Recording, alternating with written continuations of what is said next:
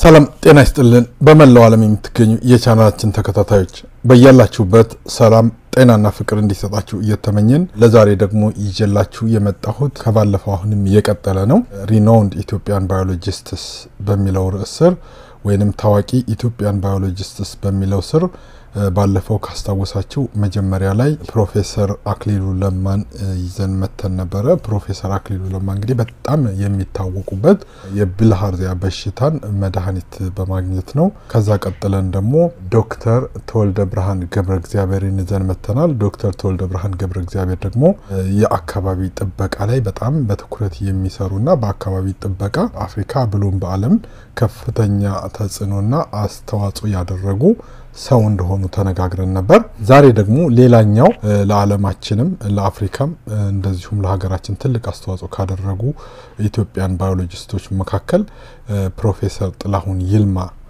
ነው ይዤላችሁ የመጣሁት። ፕሮፌሰር ጥላሁን ይልማ is a distinguished professor of virology in the School of Medicine and School of Veterinary Medicine at University of California Davis ይላል።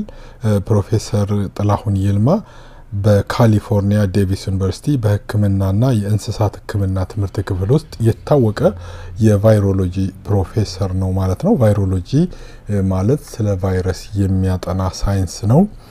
በባዮሎጂ ስር ሆኖ እንግዲህ ባዮሎጂ በጣም ትልቅ ሳይንስ ነው ብያችኋለሁ በቀደም ባዮሎጂን ማጥናት የሚፈልግ ሰው ብዙ ነገሮችን በስሩ ስለሚይዝ ብዙ ነገሮችን ማጥናት ይችላል እና ባዮሎጂን ማወቅ ብዙ ነገሮችን ለማጥናት ይጠቅማል ብለን ነበር። ከነዚህ ውስጥ አንዱ እንግዲህ ፕሮፌሰር ጥላሁን ይልማ ውጤታማ የሆኑበት በቫይሮሎጂ ስለ ቫይረስ በሚደረግ ጥናት ነው ማለት ነው። ስለዚህ ቫይሮሎጂ ማለት ስለ ቫይረስ የሚያጠና ሳይንስ ማለት ነው ማለት ነው። He is the founding director of the International Laboratory of Molecular Biology ወይንም ILMB ይላል። በዓለም አቀፍ የሞሌኩላር ባዮሎጂ ላቦራቶሪ መስራች ዳይሬክተር ነው። ይህም በጣም ትልቅ ነገር ነው ማለት ነው። He directs the International Laboratory of Molecular Biology for Tropical Disease Agents at UC Davis ይላል። በምድር ወገብ አካባቢ የሚገኙ በሽታዎች ወኪል የሆነውን የካሊፎርኒያ ዴቪስ ዩኒቨርሲቲ ሞሌኩላር ባዮሎጂ ላቦራቶሪን ያዛል ነው የሚለው። He was born and raised in Ethiopia but is US citizen ነው ይላል።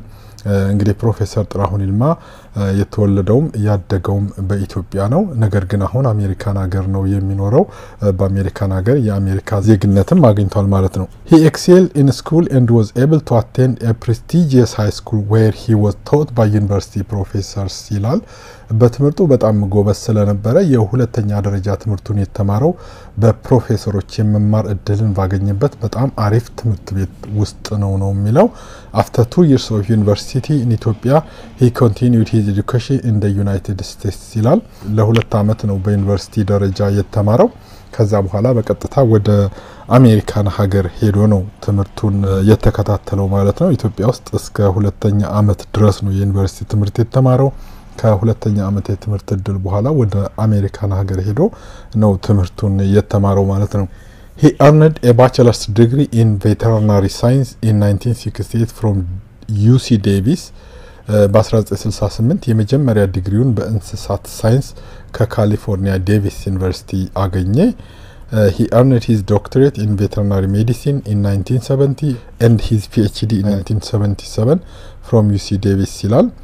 ዶክትሬቱን በእንስሳት ሕክምና በ1970 እንዲሁም PhD ውን በ1977 ከካሊፎርኒያ ዴቪስ ዩኒቨርሲቲ ያገኘ ማለት ነው። In addition he also studied in medicine at Cornell University Medical College።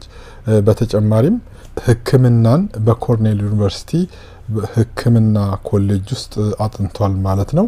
His research focuses on the development of recombinant vaccine and rapid diagnostic kits for viral diseases for humans and animals።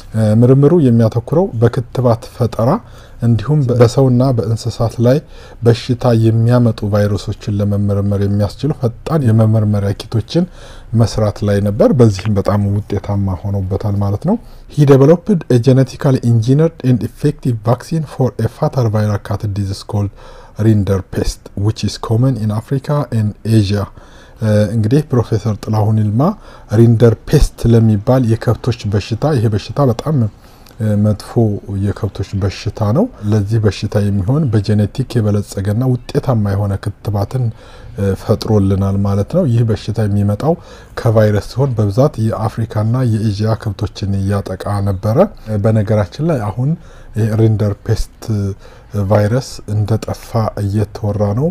ለዚህ ቫይረስ መጥፋት ደግሞ የፕሮፌሰር ጥላሁን ይልማ አስተዋጽኦ ከፍተኛ ነው ማለት ነው። ምክንያቱም ይሄ ቫይረስ እንዲጠፋ ክትባቱን እየፈጠረልን ፕሮፌሰር ጥላሁን ይልማ ነው ማለት ነው። ይሄ ክትባት ለ rinderpest የሚሆን ክትባት ማለት ነው። ይሄ ከብቶችን በከፍተኛ ደረጃ የሚገድል በጣም መጥፎ በሽታ ነበረ። He also developed an inexpensive kit for quick diagnosis of rinderpest። እነዚህን በሽታዎች ደግሞ ለመመርመር መርምሮ ለማወቅ የሚጠቅሙ እነዚህ ትንንሽ የሆኑ ፈጣን መመርመሪያ መሳሪያዎችንም በተለይ ለዚህ ለ rinderpest በሽታ እሱ ነው የፈጠረልን ማለት ነው። ይህም ትልቅ ስራ ነው። The disease brought to Ethiopia by three infected cows during the Italian invasion of 1888 ይላል። ይሄ rinderpest የሚባለው በሽታ ወደ ኢትዮጵያ የገባው በጣሊያን ወረራ ጊዜ በ1888 ነው። የመጣውም ደግሞ በዚህ በሽታ በተበከሉ ሶስት ላሞች አማካኝነት ነው ማለት ነው። Within the year 90% of domestic cattle and many wild animals such as buffalo, giraffe and antelope died. As a result, 30-60% of the people starved ይላል። እንግዲህ ይሄ በሽታ ኢትዮጵያ ውስጥ በገባ በአንድ አመት ውስጥ ከዘጠና percent በላይ የሚሆኑትን የቤት እንስሳቶች እና እንዲሁም የዱር እንስሳቶችን ለምሳሌ ጎሽ የመሳሰሉ ቀጭኔ፣ ድኩላ የመሳሰሉትን ገድሎብናል ማለት ነው። በሱ በሽታ ምክንያት ደግሞ ከ30 እስከ 60 የሚሆኑ ኢትዮጵያኖች እንዲራቡም ሆነዋል ማለት ነው። ምክንያቱም ይሄ በሽታ በጣም መጥፎ በሽታ ነው። እንዳልኳችሁ ከብቶችን ይገላል፣ እንደገና የዱር እንስሳቶችን ይገላል። 90 percent የሚሆኑ ከብቶች በዚህ ምክንያት infected ሆነው ስለነበረ ከ30 እስከ 60 percent የሚሆኑት ኢትዮጵያኖች በዚህን ወቅት ረሃብ እየተሰቃዩ ነበር ማለት ነው። In 1997 the vaccine was approved for use throughout Africa። ከዛ በኋላ እንግዲህ rinderpest የፈጠረው vaccine ወይንም ክትባት በአፍሪካ ውስጥ እንዲሰጥ ፍቃድ አገኘ ማለት ነው። ይህ ክትባት His vaccine doesn't need refrigeration። ሌላው ደግሞ የዚህ የክትባት በጣም ጥሩ ነገሩ ክትባቱን ለማስቀመጥ ፍሪጅ አያስፈልገውም።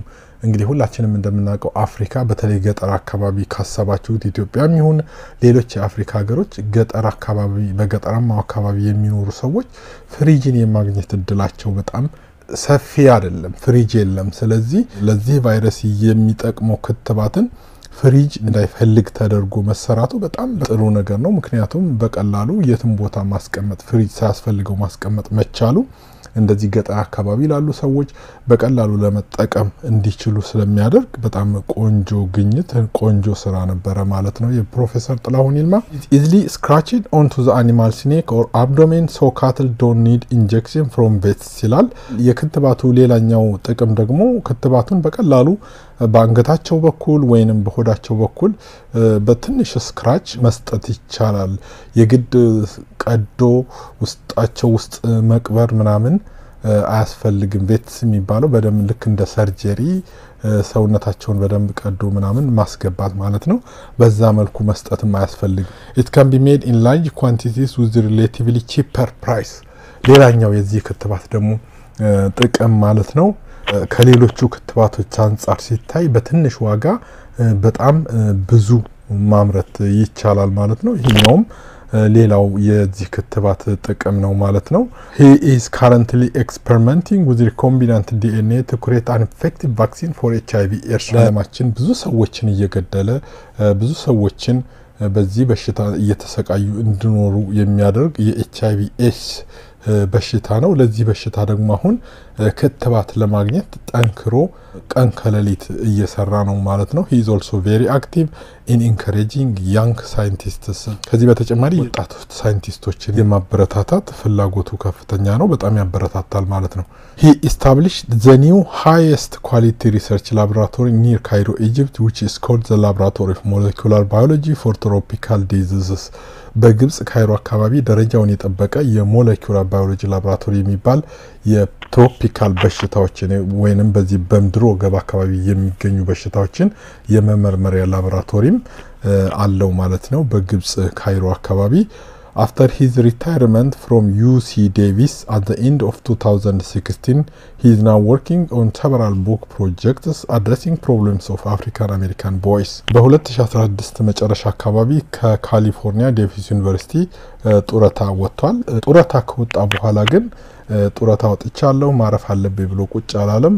ይልቁንስ በአፍሪካ አሜሪካዊ ወንዶች ብዙ ጊዜ አፍሪካ አሜሪካዊ ወንዶች የሚገጥሟቸው ችግሮች ምንድን ነው ብሎ ለነሱ ችግር መፍትሄ ለማምጣት ቀን ከሌሊት እየሰራ ነው ማለት ነው። He is also participating in the transfer of technologies in molecular biology mainly to Africa። ከዚህ በተጨማሪ ደግሞ ወደ አፍሪካ እነዚህ ቴክኖሎጂዎች በተለይ በ molecular biology ዙሪያ ያሉ ቴክኖሎጂዎችን አፍሪካን ሀገሮችም እነዚህ የ molecular biology ቴክኖሎጂዎችን ተጠቃሚ እንዲሆኑ እንዲያገኙ ጥረት እያደረገ ነው እየሰራ ነው ማለት ነው። His outstanding contribution to science and medicine have been recognized by many professional organizations ለሳይንስና ለሕክምና እድገት ያደረገው አስተዋጽኦ በብዙ ትልልቅ ድርጅቶች እውቅና አግኝቶለታል። በዚህም የተነሳ he received many awards በጣም ብዙ ትልልቅ ሽልማቶችን ተሸልሟል ፕሮፌሰር ጥላሁን ይልማ። ከነዚህም ውስጥ አንዱ ሽልማት the Ciba-Geigy Award for research in animal science which is the highest research award in the field። እንግዲህ በእንስሳት ሳይንስ ውስጥ ትልቁን የምርምር ሽልማት አግኝቷል። ይህም የምርምር ሽልማት የ Ciba-Geigy ሽልማት ይባላል ማለት ነው። Ciba-Geigy ሽልማት በእንስሳት ሳይንስ ምርምር ውስጥ ትልቁ ሽልማት ነው። ይህን ሽልማትም አግኝቷል። He also received 2001 2002 UC Davis Faculty Research Award which the university highest award to research የ2001 2002 የ UC Davis ዩኒቨርሲቲ ለምርምር የሚሰጠውን ትልቁን ሽልማት አግኝቷል። ይህም ሌላኛው በጣም ትልቅ ትልቅ ሽልማት ነው ማለት ነው። እንግዲህ ቤተሰቦቻችን ስለ ፕሮፌሰር ጥላሁን ይልማ ይዤላችሁ የመጣሁት ይህን ነው። ይህንን ቪዲዮ ከወደዳችሁት like፣ ለሌሎች እንዲደርስ ደግሞ share አድርጉልኝ። የትኛውም አይነት ሀሳብ አስተያየት ካላችሁ በ comment መስጫ ላይ ብታስቀምጡልኝ በደስታ እቀበላለሁ። ቪዲዮዬን ወዳችሁ ፈቅዳችሁ ስለምትከታተሉልኝ ከልብ አመሰግናለሁ። በሌላ ተመሳሳይ ቪዲዮ እስከምንገናኝ መልካም ጊዜ። እወዳችኋለሁ፣ አከብራችኋለሁ። Bye bye።